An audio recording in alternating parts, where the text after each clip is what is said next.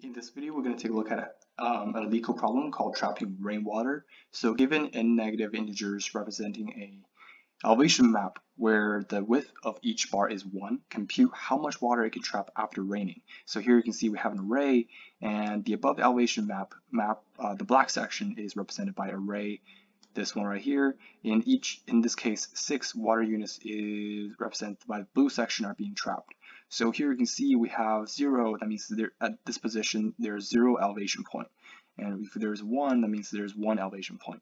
There's not going to be a water trap here because there's no elevation point on the left. So we need to have elevation point on the left and on the right to get the um, to to have water being trapped, right? So if there's no elevation point, and in this case, there's no water being trapped. So you can see here that there are total six units because we have one, two, three, four, five, six. Okay, pretty straightforward. And um, to do this problem, I'm going to teach you how we can do this in a brute force way. I think it's very, very important to understand how to do this brute force in a brute force approach.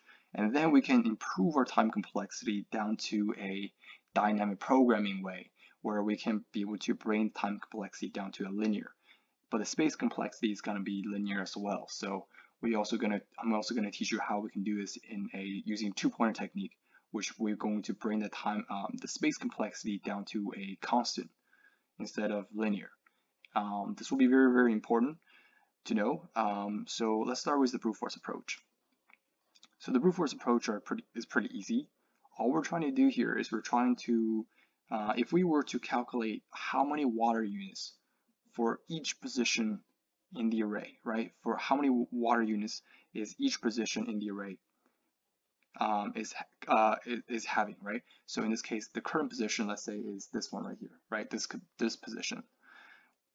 To def to define, to figure out how many water units this position can um, this this position have, all we're trying to do here is we're trying to find the left um, maximum value, or the, the, the left maximum elevation. If there's no left maximum elevation, then that's going to be there. There's no there's not not going to be any water trapping, right? Just like I talked about. And then what we're going to do is we're going to find the maximum elevation point, the max uh, the maximum elevation value on the left, and the maximum um, elevation value on the right. In this case, the maximum left elevation is 2. The maximum elevation on the right is 3. And what we're going to do is we're going to find the minimum value between those two value. In this case, the minimum is 2, right? 2 is smaller than 3. Once we find the minimum value, what we're going to do is we're going to minus the current height then this will give us the um, number of water units that the current position can have, right?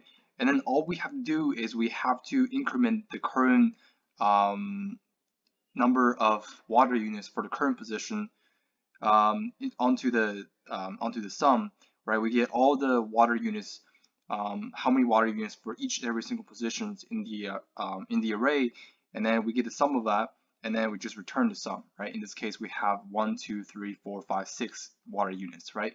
So this is going to be the brute force approach because for each iteration, we have to find the, um, the, the maximum value on the left side and the maximum value on the right side. So this will give us a n squared time complexity, but a constant time in space. So what we can do instead to make this better is we can use a dynamic programming. Basically, we're going to um, solve this problem by simply memorize by simply memorize the um, all the all the maximum value on the left for each and every single position, all the maximum value on the right for each and every single position in the given array. So what we're trying to do here is we're trying to so here's the base case. If the um, if the length is less than 2, right? If the length of the array is less than 2, then we can guarantee that there's no water trapped, right? So there's no water being trapped because we need a left elevation and a right elevation. We need at least three um, space, right? Three elements in the array to work with because we need to have a left and a right elevation, right? Then what we're going to do is we're going to have a left array to memorize, to basically iterate each and every single element to compare um, to compare the uh, maximum value, right? In this case, the maximum value that we have um, on the left so far at the current position. And then we also have a right array to keep track of the maximum um, value on the right for each and every single element in the array, right? So in this case, the given array, we want to find the maximum um, for, let's say, for example, this one right here. So for this element right here, the maximum, uh, let's say this element right here, right? This element right here, the maximum value on the left is this one right here, right? The maximum um, value on the right is this value right here. So we are constantly um, using a two array, right? We're using two arrays to keep track of the left and the right, right? For the current position, for the value, for the current value in the array, in the given height array. Then what we're going to do is we're just going to find the minimum for the current position, right? So find the minimum on the left and the right. Find the minimum max value on the left and the right.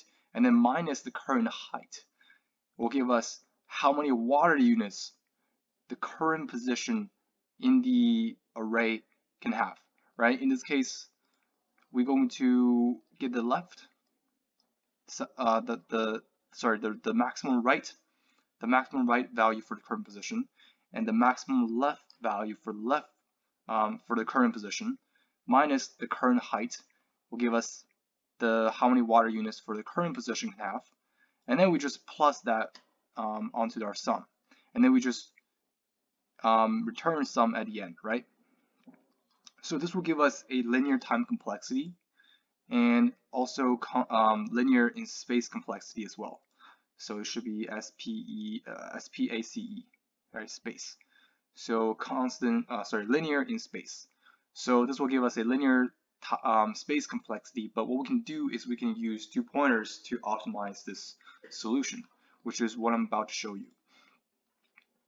Basically, what we're trying to do is we're we know the core um, core steps to solve the problem, right? All we need to do is we need to find if we were to find the how many water units for for the current position what we need to do is we need to find the maximum value on the left and then find the maximum value on the right to figure out the how many water units we can uh, we have for the current position so all we need to do is we need to do first do a linear scan for to find to find the maximum value. In this case the maximum value is here. We have three elements right? We sorry we have value of three. In this case that's the maximum elevation point. What we're going to do then is we're basically just going to start from zero, in this case, start from the left, right? Work our way up to the, um, the right, the maximum on the right. In this case, this is going to be our maximum on the right. So we're going to start from zero, and for each iteration, we're just going to redefine our left max, right? So we're so this is going to be our current pointer. Our pointer is going to point to point to here, right? we're going to say, well, um, starting from here, we're going to redefine our max, our left max, right? In this case, there, the left max in this case is going to be zero. So the minimum between zero and three in this case is zero. Zero minus current height is also zero.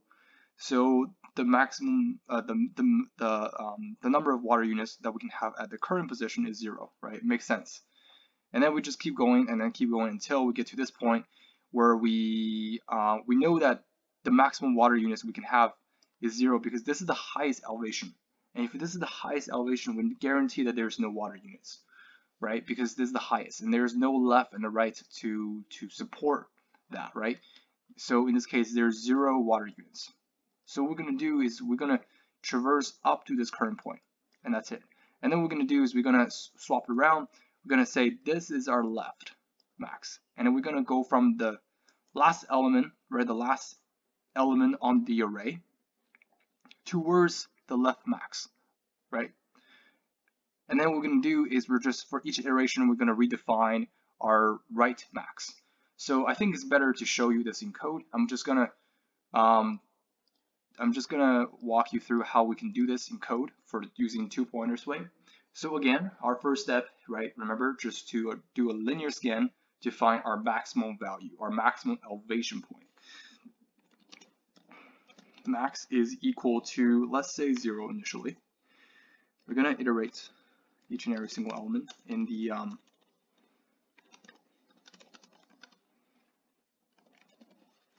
let's also get a n which is equal to height dot length. Dot length.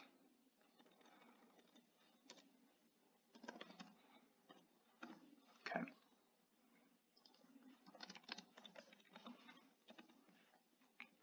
So what we're going to do is we're basically going to iterate.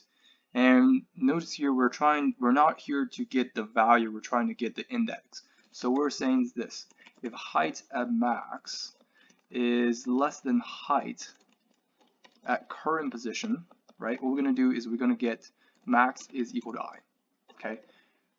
We're going to get max is equal to the maximum elevation point or the maximum value, uh, maximum values index in the array.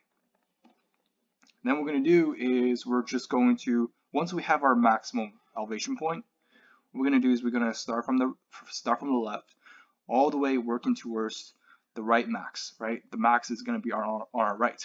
We're starting from the first element in the array. So left, right, so in this case the left max, okay, is equal to zero initially. What we're going to do is we're going to start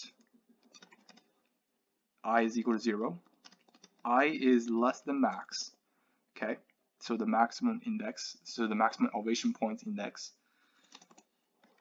What we're going to do is we're just going to um, first, right, compare the max, um, the left maximum value with the uh, the current value, right? Because there could the current value could be also bigger than the max, um, the left max that we have already.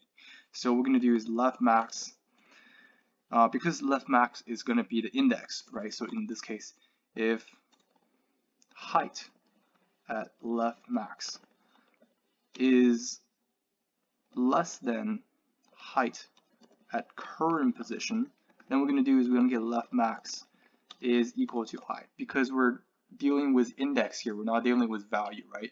Those ones here, this max, the left max, they're all index. They're not value. And then what we're going to do is we're just going to calculate the how many water units we have for the current position, right? Because we now we know our left max, right? And we also know the right max because we traverse the array, right? We're going from i all the way to max, okay? So then what we're going to do is we're going to have a variable called sum initially is zero, right? So sum is equal to sum plus the um, the minimum, right? Just like what we talked about, the minimum between the left max and the right max. Okay. Once we find the minimum between those two, what we're going to do then is we're going to um, minus the current height okay once we minus the current height this will give us the new sum right? And then what we're going to do is we basically we basically get how many waters unit we can have up to this current position right? Up to this current position we pretty much get all the all the water use we already calculate all the water units we can have up to the max okay? Then we're going to do is we're just going to figure out the right side. In this case what we're going to do is we're going to have a variable that is called right max, which is equal to 0. And then what we're going to do is we're going to start at n minus 1, while i is less than the max, okay? i minus minus. Basically, we're just going to start from the last element working towards the maximum elevation point. All right, so what we're going to do is we're going to say height it's um, at right max if it's less than the current position, right? If it's less than the current height, then what we're going to do is we're just going to get right max is equal to i, just like how we did here. If it's less than, we're just, we're just going to redefine our right max, right? And the sum, right, is equal to the minimum of between the max, right, and the height of the right max. And we're going to minus height at i. Okay, this will give us the new sum for the current um, up to um, for the current position, right?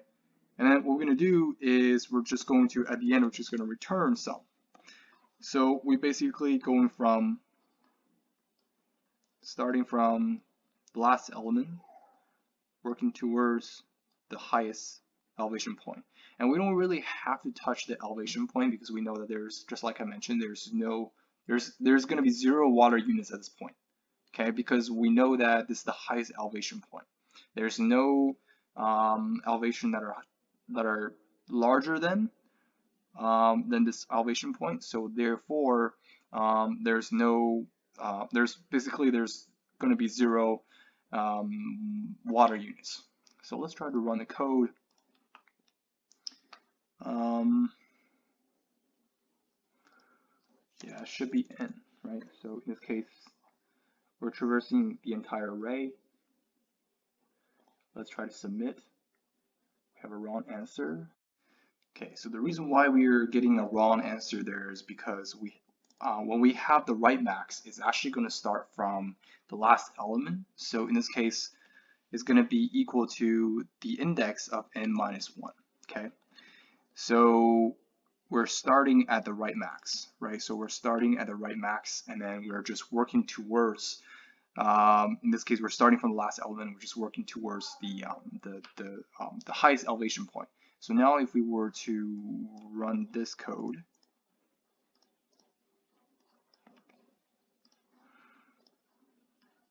okay, now let's submit you can see we have our answer. So this is how we bring the space complexity down to constant. And then um, time complexity, uh, time complexity in this case is going to be linear. Okay, so there you have it, and thank you for watching.